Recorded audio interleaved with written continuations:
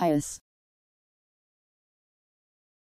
A young hawk or falcon in the nest, or that has not yet fledged, especially one that will be trained for falconry.